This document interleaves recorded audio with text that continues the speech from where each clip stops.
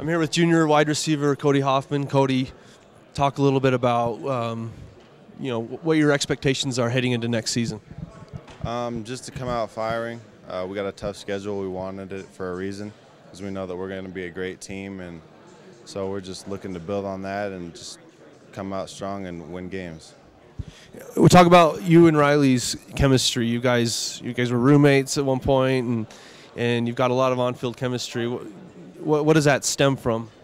Uh, I'd say living together at first, just because we know each other's personality, we know what to expect from each other, and that definitely plays a role on the field. And just his style of play fits my style of play with like his run and gun type offense, and it's just nice to have that.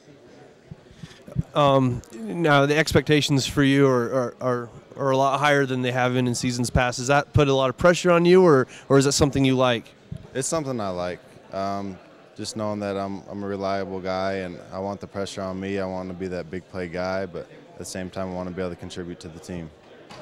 All right, and and just talk about your experience here at BYU so far, what it's been like. Uh, it was rough at first with the whole redshirting thing, but I mean, I overcame that and just kept my hard work going, and so it's always nice to just see the results, and hopefully, I can get better results in the future.